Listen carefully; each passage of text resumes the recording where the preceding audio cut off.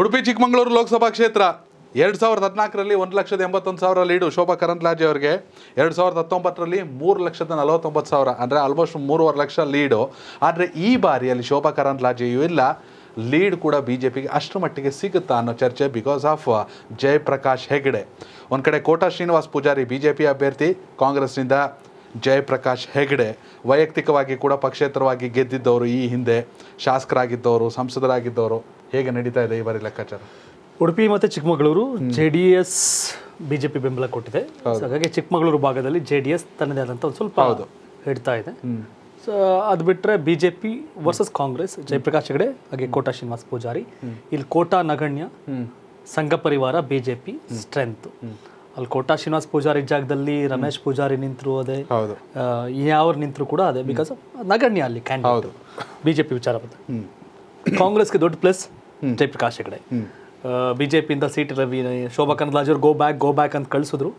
ಆ ಗೋ ಬ್ಯಾಕ್ ಅಂತ ಹೇಳ್ತಿರೋ ಕಾರಣ ಸಿ ಟಿ ರವಿ ಆಗ್ಬೋದು ಅಥವಾ ಪ್ರಮೋದ್ ಮಧುರಾಜ್ ಆಗ್ಬೋದು ಅಂತ ಅವ್ರ ಲೆಕ್ಕಾಚಾರ ಇತ್ತು. ಅವರಿಬ್ಬರನ್ನು ಮೀರಿ ಆಲಿ M L C Kota Srinivas Poojary ಬಂದ್ರಲ್ಗೆ. But ಏನು ಅಂತಂದ್ರೆ ಒಂದಷ್ಟು ಲೆಕ್ಕಾಚಾರಗಳಲ್ಲಿ ಕಾಂಗ್ರೆಸ್ ನಾಲ್ಕು ಎಂ ಎಲ್ ಎ ನಾಲ್ಕು ಬಿಜೆಪಿ ಎಂ ಎಲ್ ಚುನಾವಣೆ ನಡೀತಾ ಇದೆ.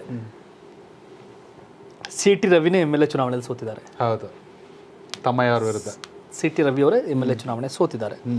ಇದೆಲ್ಲದರ ಕಾರಣದಿಂದಾಗಿ ಎವ್ರಿಥಿಂಗ್ ಇಸ್ ಪಾಸಿಬಲ್ ಇಯರ್ ಎಲ್ಲವೂ ಸಾಧ್ಯ ಅಂತಿದೆ. ಬಟ್ ಒಂದ್ ಕೈ ಸಹಜವಾಗಿ ಬಿ ಜೆ ಪಿಯವರು ಇಂದಿನ ಚುನಾವಣೆ ಲೆಕ್ಕ ಹಾಕಿದಾಗ ಆ ಮೋದಿ ಅನ್ನೋ ಕಾರಣಕ್ಕೆ ಹೌದು. ಬಿ ಜೆ ಪಿಯವರು ಖುಷಿಯಾಗಿದ್ದಾರೆ ಬಟ್ ಅಲ್ಲೇನು ಅಂತಂದ್ರೆ ಪ್ರಮೋದ್ ಮಧ್ವರಾಜ್ ಅವ್ರಿಗೆ ಹೌದು. ಟಿಕೆಟ್ ಕೊಟ್ಟಿಲ್ಲ ಅನ್ನೋ ಕಾರಣಕ್ಕೆ ಆ ಸಮುದಾಯ ಜೊತೆಗೆ ಇಲ್ಲಿ ಒಂದಷ್ಟು ವಿರೋಧಗಳು ಬೇರೆ ಬೇರೆ ಕಾರಣಕ್ಕೆ ನಡೀತಾ ಇದೆ. ಬಿಜೆಪಿಲಿ ಕಾಂಗ್ರೆಸ್ ಅಲ್ಲಿ ಒಗ್ಗಟ್ಟಾಗಿದೆ ನಿನ್ನೆಗಿಂತ ಒಗ್ಗಟ್ಟಾಗಿದ್ದಾರೆ.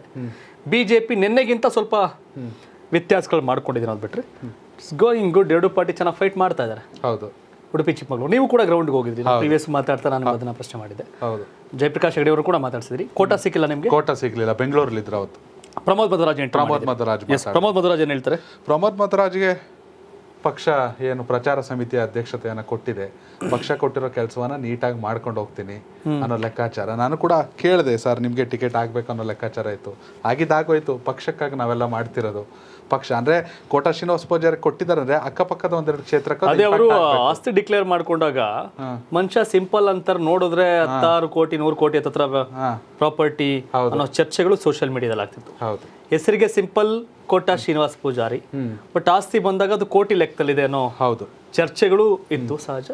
Jayaprakash Hegde good person. ಹೌದು. Jayaprakash Hegde best person. Jayaprakash Hegde ಸರಳ ಸಜ್ಜನ ಸೇಮ್. ಕೋಟಾ ಶ್ರೀನಿವಾಸ್ ವ್ಯಕ್ತಿಗತವಾಗಿ ಬಂದಾಗ ವ್ಯಕ್- ವ್ಯಕ್ತಿತ್ವದಲ್ಲಿ ಆಚೆ ಈಚೆ ಅಂತಿರಲಿಲ್ಲ ಹೌದು ಹೌದು. ಪಾರ್ಟಿ ಅಂತ ಬಂದಾಗ ಬಿಜೆಪಿ ಸ್ಟ್ರಾಂಗ್ ಇದೆ. ಕೋಟಾಗೆ ಬಿಜೆಪಿ ಶಕ್ತಿ ಆದ್ರೆ ಕಾಂಗ್ರೆಸ್ಗೆ ಜಯಪ್ರಕಾಶ್ ಹೆಗಡೆನ ಶಕ್ತಿ.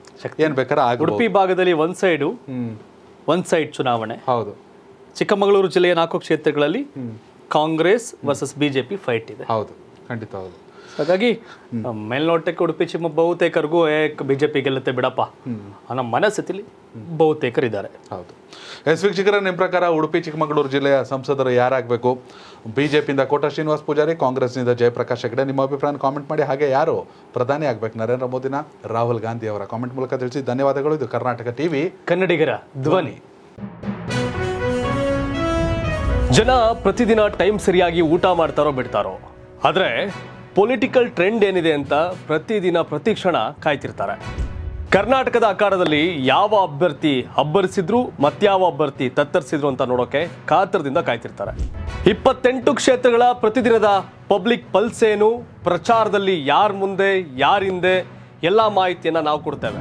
ಕರ್ನಾಟಕ ಕುರುಕ್ಷೇತ್ರ, ಇಪ್ಪತ್ತೆಂಟು ಕ್ಷೇತ್ರಗಳ ಡೈಲಿ ನ್ಯೂಸ್ ಪ್ರತಿದಿನ ರಾತ್ರಿ ಎಂಟು ಗಂಟೆಗೆ. ಯೂಟ್ಯೂಬ್ನಲ್ಲಿ ಕರ್ನಾಟಕ ಟಿವಿ ಅಂತ ಸರ್ಚ್ ಮಾಡಿ, ನಂತರ ನಮ್ಮ ಕರ್ನಾಟಕ ಟಿವಿ ಸಬ್ಸ್ಕ್ರೈಬ್ ಮಾಡಿ, ಸಬ್ಸ್ಕ್ರೈಬ್ ಆದ್ಮೇಲೆ ನಿಮಗೆ ಹೋಮ್ ಪೇಜ್ ಬಂದರೆ ಕಮ್ಯುನಿಟಿ ಅನ್ನೋ ಆಪ್ಷನ್ ಸಿಗುತ್ತೆ. ಈ ಕಮ್ಯುನಿಟಿ ಆಪ್ಷನ್ ಕ್ಲಿಕ್ ಮಾಡಿದ್ರೆ ನಿಮ್ಮ ಕೆಳಗಡೆ ಇಪ್ಪತ್ತೆಂಟು ಲೋಕಸಭಾ ಕ್ಷೇತ್ರಗಳ ಒಂದು ಪೋಲ್ ಕ್ರಿಯೇಟ್ ಮಾಡಲಾಗಿದೆ. ನೀವು ಹೋಗಿ ಇಪ್ಪತ್ತೆಂಟು ಕ್ಷೇತ್ರಗಳಲ್ಲಿ ಯಾರು ಗೆಲ್ತಾರೆ, ಯಾರು ಗೆಲ್ಲಬೇಕು ನಿಮ್ಮ ಸಪೋರ್ಟ್ ಯಾರಿಗೆ ಅಂತ ಅಲ್ಲಿ ನೀವು ಕ್ಲಿಕ್ ಮಾಡ್ಬೋದು, ಅಂದರೆ ವೋಟ್ ಮಾಡ್ಬೋದು. ಇಲ್ಲೇನು ವೋಟಿಂಗ್ ಆಗುತ್ತೆ, ನಾವು ಪ್ರತಿದಿನ ನಾವು ನ್ಯೂಸಲ್ಲಿ ನಿಮಗೆ ಅಪ್ಡೇಟ್ ಮಾಡ್ತಿರ್ತೀವಿ. ಇದು ಮತದಾನದ ದಿನದವರೆಗೂ ಕೂಡ ಈ ಪೋಲಿಂಗ್ ಓಪನ್ ಇರುತ್ತೆ.